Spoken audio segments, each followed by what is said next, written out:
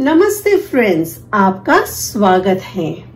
आज हम आपके लिए दादी माँ के कुछ आसान घरेलू नुस्खे लेकर आए हैं। ये नुस्खे आपके खाने का स्वाद बढ़ाएँगे और आपके घर के काम भी आसान बनाएँगे। तो चलिए शुरू करते हैं। टिप नंबर एक, चेहरे पर दाग धब्बों से बचना है तो करेले का जूस पीना चाहिए। ये कड़वा होता है, पर बहुत ही फ़ायदेमंद होता है।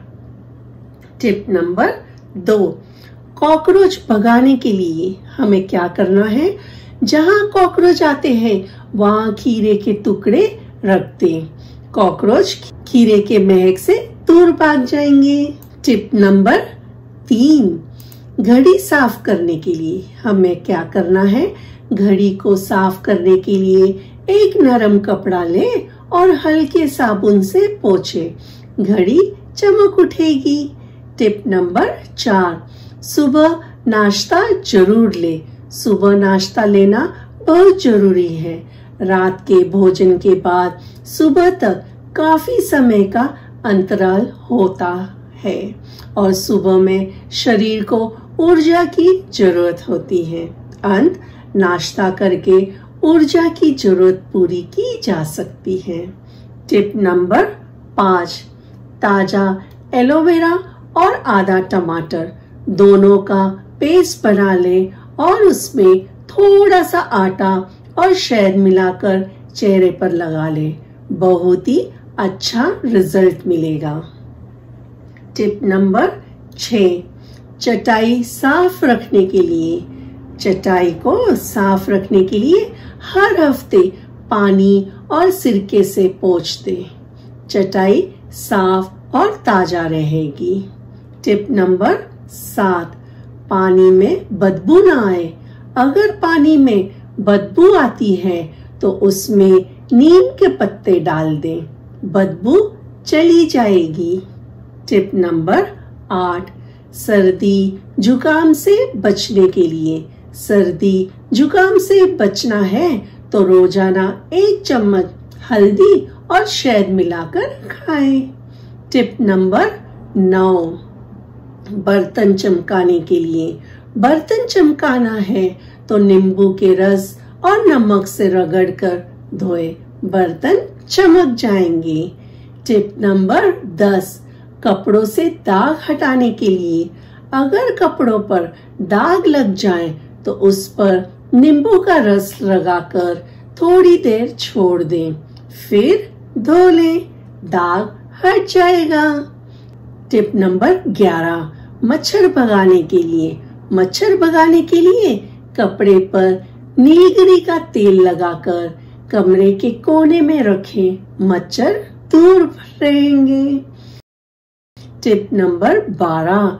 घर में खुशबू बनाए रखने के लिए घर में मिट्टी खुशबू के लिए पानी में गुलाब जल मिलाकर स्प्रे करें। घर महक उठेगा।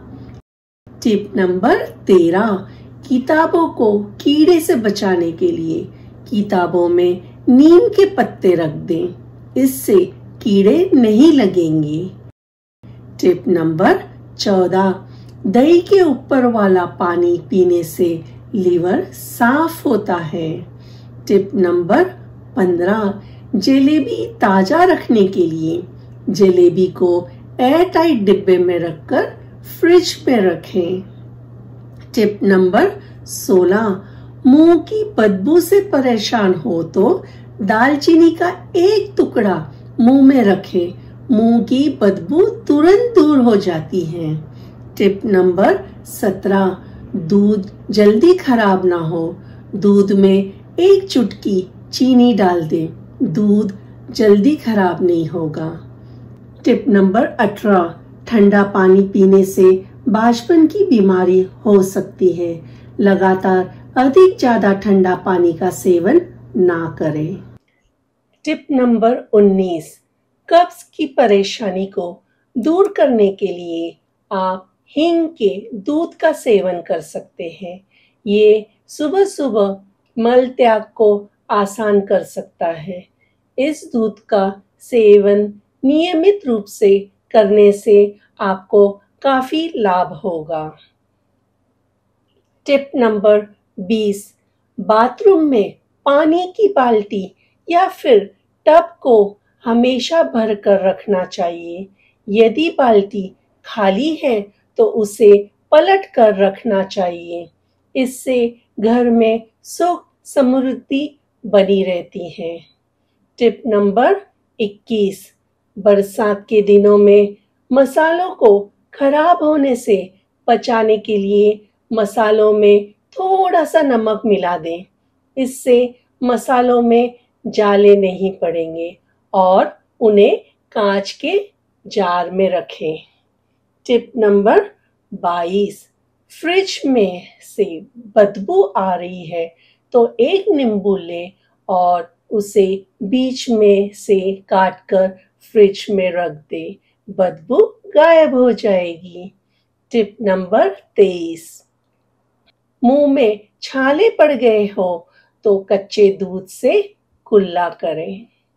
तो दोस्तों, ये थे दादी माँ के कुछ आसान टिप्स जो आपके घर के काम को आसान बनाएँगे और खाने का स्वाद बढ़ाएँगे। ऐसे ही और मज़ेदार टिप्स के लिए हमारे चैनल को सब्सक्राइब करें और वीडियो को लाइक करना ना भूलें। फिर मिलेंगे नए टिप्स के साथ। धन्यवाद। चाओ।